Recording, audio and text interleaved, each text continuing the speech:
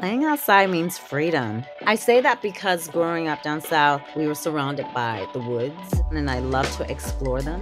And playing outside as an adult, it's that same feeling freedom to explore.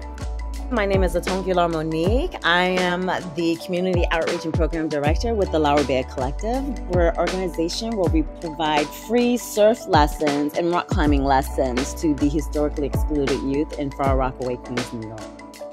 Outreach is so important. Some of the kids in our program have even said they didn't know that surfing was a thing or that it happened right there in their backyard. They had no clue. We want it to be like the norm for them to see people that look like them, people of color, who are providing the surf instruction and who are out there riding waves with them, you know, charging it with them